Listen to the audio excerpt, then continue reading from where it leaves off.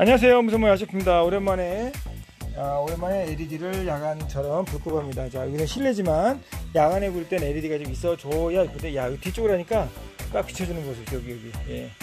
야 거의 뭐 예. 앞쪽과 뒤쪽이 확실하기 때문에 후진 바뀔 리가 없을 것 같아요.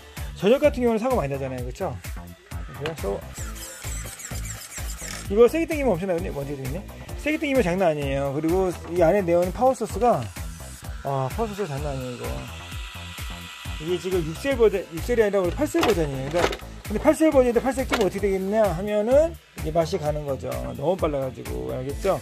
6셀만 해도 충분한 제품도 있고요. 자, 리우스 리우스로 토리우스. 성은 노토고 이름이 리우스예요. 진짜인지 모르겠지만, 하여튼 노토리우스. 이름이 길지만, 유명 노토. 노토라면 노토. 이렇게 이제 추가하도록 하겠습니다. 자, 우리 김뿅뿅님, 세종시 김뿅뿅님 출고하시게끔 준비됐고요.